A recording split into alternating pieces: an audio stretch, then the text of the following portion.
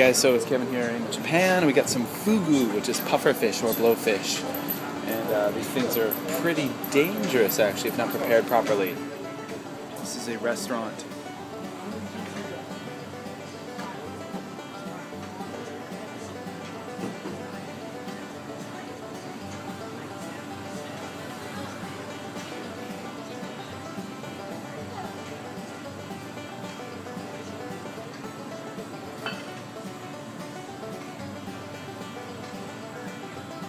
Apparently one of these bad boys has enough neurotoxin to kill 30 adults. So um, cooks who prepare these actually have to have a license, specific special training and a license. All right, see you guys.